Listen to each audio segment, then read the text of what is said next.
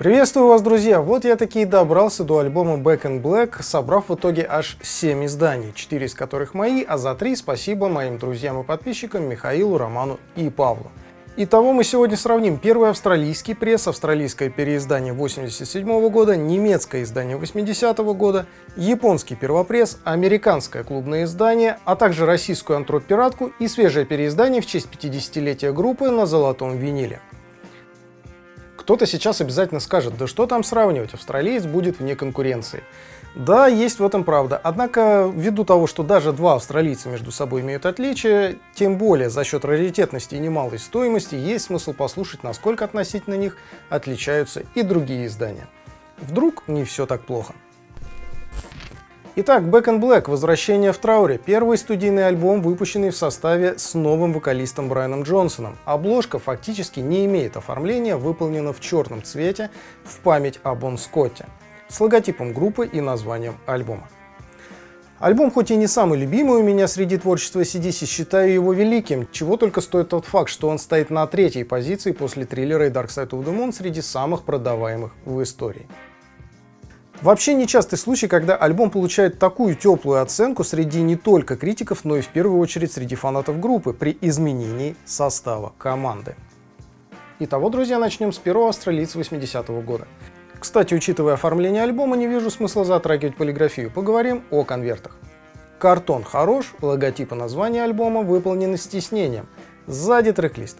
Внутри раскладная вкладка с фотогруппой и информацией об альбоме. Сама пластинка превосходного качества, как и все, пожалуй, австралийские CDC, что мне попадались. По качеству массы никаких замечаний. Ни рокота, ни шорохов, даже щелчков нет. Попался мне ментовый экземпляр, ну прямо в идеале. Центры не смещены, пластинка ровная. Как звучит? Если коротко, то обалденно. По амплитудно-частотной характеристике очень сбалансировано и детально. Тут вам и прекрасный бас, и очень собранные четкие тарелочки, и прекрасно прописанный вокал – Каждый инструмент на своем месте и отлично проработан. Ну прямо на удивление. По динамике просто шикарное издание, еще и падения качества к яблокам нет. В общем и целом 10 из 10 бесспорно. Вот только цена пугает, все-таки 300-400 долларов, ну такое себе решение, так что смотрим дальше, что у нас на очереди. Переиздание 87 года, этот экземпляр из бокса Volume 2. Самое интересное, что судя по фото на дискоксе, конверт должен быть таким же, как и предыдущий, с тиснением и названием альбома, да еще и с вкладкой. Мой же экземпляр без всего вышеупомянутого. Не исключаю, что конверт от другого издания, но самое главное, что пластинка, судя по фото, все же 87 года.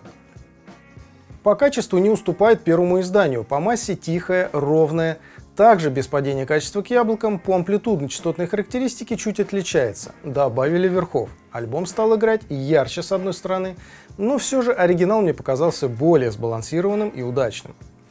В общем, на вкус и цвет.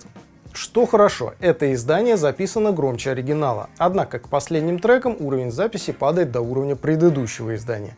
То есть громкость к яблокам чуть меняется не критично, но если вы любитель пописать кассетки, скажем, то постоянно придется корректировать уровень от песни к песне. В остальном все хорошо. Поставлю пластинке 7 из 10. За конверт не снимал баллы, ибо непонятно, что это и как сюда попало, да и почему еще и без вкладки. Цена издания 87 года в среднем 150 долларов и выше. Далее немецкое издание. Конверт изрядно поживший, но теснение на месте – сам винил еще очень даже хорош по состоянию, поэтому в обзор его и добавил.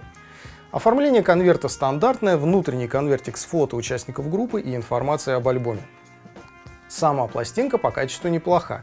Первая сторона, правда, записана по самое яблоко. Что по дефектам, щелчки есть ввиду естественного износа. Падение качества тоже присутствует, причем явное. Если первые треки играют хоть и не так звонко, как в остальных ранних изданиях, то последние треки смешиваются в кашу и существенно теряют высокие частоты. Что сильно бросилось в глаза, чуть другая тональность и скорость записи. Наверное, поэтому в начале винилового своего пути, услышав, как играет американский пресс, не думая, избавился от имеющегося тогда немца. Послушайте сэмплы, без труда поймете, о чем я. Не знаю, дефект ли это, но моя оценка 6 из 10. Что удивляет, так это ценник на немецкие пластинки, вплоть до 100 долларов доходит. Многовато, на мой взгляд. Далее японский первый и единственный пресс. Конверт шикарный по качеству, с тиснением из хорошего картона. Сзади у нас все стандартно. Внутри вкладка со стандартным оформлением, но добавили сюда тексты композиции на английском причем языке и что-то понаписали там на японском.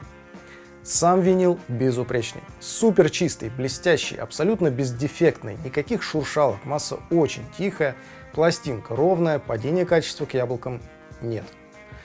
Что по звуку? Честно говоря, разница между этим изданием и первым австралийцем не столь заметна. Да, по АЧХ отличия есть небольшие, особенно в среднем диапазоне. Чуть-чуть серединку выдвинули вперед. Но в целом, как я и сказал, очень похоже на оригинал с минимальной отсебятиной. По динамике также никаких замечаний. Любовь японцев задирать верха – это не про этот альбом. Мое почтение, с учетом хорошей комплектации, отличного конверта и мало отличающегося звучания от оригинала, ставлю все 10 из 10. Цена начинается от 150 долларов. Тем не менее, рекомендую. Хорошее издание как для прослушивания, так и для коллекции. На очереди американское издание. Я его вскрыл, если честно, как раз перед обзором. До этого времени пластинка стояла запечатанной в коллекции. Как выяснилось, это издание CRC – Columbia Records Club – но все же американец есть американец, поэтому смотрим. Конверт неплохой, сзади стикер Manufactured by Columbia House Under License. Причем стикер под пленкой. Внутренний конвертик на месте, его оформление стандартное. Что по пластинке, то визуально на ней есть небольшие разводы, не влияющие на звук. В принципе, часто встречающийся факт на американских изданиях. По массе проблем нет, даже без помывки пластинки в ультразвуковой мойке. Играет чистенько, не щелкает, не ракотит, но все равно позже ее все-таки помою. Пластинка записана не близко к яблокам, поэтому падения качества нет, все стабильно. По амплитудно-частотной характеристике издание отличается чуть железноватым звуком на фоне японца. Добавили еще серединки, тем самым выделив вокал. Плохо ли это или хорошо – дело вкуса. Не считаю это дефектом, но от оригинала отличается заметно, а он-то у нас взят за эталон. Динамика прекрасная, не пожатая, в общем тоже очень достойно звучит. Надеюсь, все американцы также хороши или даже лучше. Моя оценка 8 из 10. Далее, что у нас по антроповской пиратке. Видимо, один из владельцев этого экземпляра был фанатом Малевича, поэтому решил закрасить перевод на русском, а также логотип и, видимо, были предприняты попытки раскрасить альбом весь. Причем не абы чем, а красками и кистью. Итак, бумага стандартно антроповская, низкого качества, сзади неплохое оформление для антропа, есть информация об альбоме и издании. Кстати, 93 год. Сама пластинка хорошо сохранилась, визуально проблем нет, записана далеко от яблок, следовательно, никакого падения качества, что, конечно, хорошо, да еще и DMM технологии применены. Как сие издание звучит? По массе, в принципе, неплохая мелодиевская пластинка тех лет. Мелкие щелчки встречаются, в начале сторон слышно небольшой гул. В остальном терпимо. По амплитудно-частотной характеристике издание получилось самым звонким, даже звонче австралийского переиздания. Видимо, Тропила подкрутил высокие частоты в исходнике. Вроде бы и красиво с одной стороны, но плосковато играет, хотя по динамике проблем нет, не пожали звук. В целом, можно, конечно, поставить изданию 5 из 10. Цена от 2000 рублей, что много, доходит аж до 5000, что, простите, дофига за пиратку. Поэтому ценность имеет как трофей, доставшийся давным-давно за меньшую сумму. Ну и, наконец, юбилейка на золотом виниле. Много вопросов было ко мне по свежим ремастированным переизданиям. Честно сказать, покупать я их не хотел, но удалось таки найти этот экземпляр в Балашихе. Что скажу, по конверту все отлично, тут постарались на славу. Стикеры, картон, без замечаний. Внутренний конвертик шикарный, наконец-то симпатичный коллаж из фото. Также в комплекте вот такая вкладка в честь 50-летия. Сама пластинка с виду отличная, хотя скептически отношусь к цветным пластинкам с такими вот плестюшками и разводами из-за низкого качества массы. Но, кстати, по массе-то дела обстоят отлично. Не шумит пластинка даже в паузах, и на водной дорожке никакого гула и шорохов. Что по звуку? Ремастер скомпрессированный, причем очень, что и неудивительно. По амплитудно-частотной характеристике совсем железный, верха не собраны, все как-то размазано, объема тоже не хватает, э, но это еще полбеды. С амплитудно-частотной характеристикой-то бороться хоть как-то, но можно. А вот со сведением новым Ну, панораму сузили, ремастер звучит более монофонически на фоне всех ранних переизданий.